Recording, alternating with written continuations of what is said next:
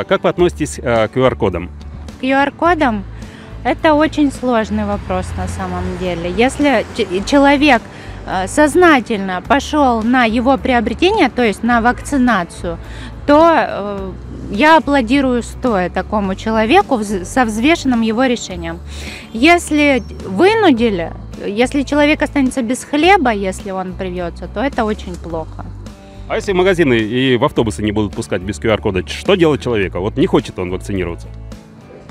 Это очень сложный вопрос. И с текущей ситуацией, я думаю, все-таки ну, нужно находить. А пусть тогда переводят людей на удаленку с сохранением заработной платы. Что же нам делать с теми людьми, которые не хотят вакцинироваться? Это их личное, личное мнение их. А если не пускать их в магазины, в автобусы? Ну что значит? Тогда надо страну менять.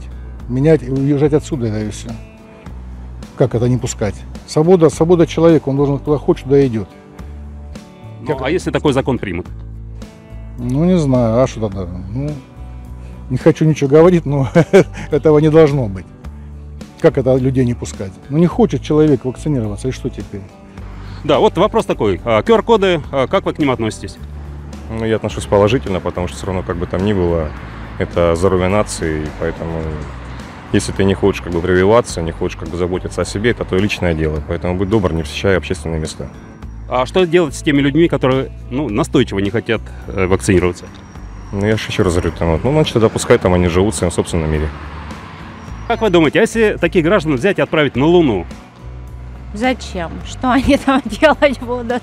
Ну а что им здесь делать? В магазин не пустят, в автобус тоже. Ну, сейчас очень много сервисов доставки еды, всего не- медикаментов. То есть можно существовать абсолютно без выхода э, из дома. Полноценно существовать. Есть интернет тот же. Ну, я не... Выйти на балкон, подышать воздухом. То есть такие перспективы вы советуете таким людям? Я абсолютно не советую, я ищу альтернативы. Я предлагаю альтернативы в случае подобного рода А как же Луна? Вот Рогозина попросите. Я, честно говоря, новости с политикой я на «вы». Новости не читаю, не знаю, кто такая Рогозина, но считаю то, что на Луну это крайняя мера, и пусть летит сама. Вот. Это он. А, это он, тем более. Спасибо. А вы уже снимаете? Не знаю, как отношусь. Сомнительно. А как вы относитесь к тому, если у кого не будет этого кода, не будут пускать, э, допустим, в автобусы или в магазины? Ну, Это плохо, конечно, будет. Надо, чтобы они у всех были. А если люди не хотят, что делать? Это спорный вопрос. Люди разделились на два лагеря, поэтому очень сложно об этом судить. Вы за какой лагерь? Я еще не приняла решение.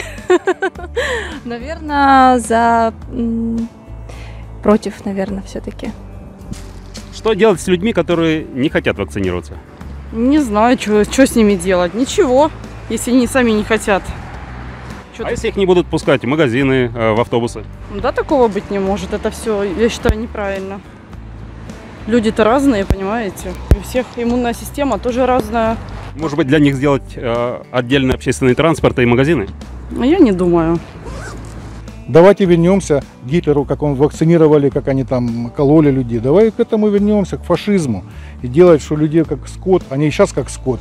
Хотя, хотят вакцинируют, хотят, что хотят делают. Поэтому А мы не к этому сейчас движемся. к этому движемся. Что хотят всех сейчас завакцинировать. И, ну, это нет, я не против там вакцинации как таковой. Ну, каждый человек должен решать сам, делать ему или нет. Но дело в том, же понимаете, что человека провакцинировали, он должен сидеть дома две недели дома. Правильно? Правильно. Вот. А у нас же провакцинировали, и человек выходит на улицу, он начинает заражать остальных. То есть это для чего делается, чтобы все заразить и все.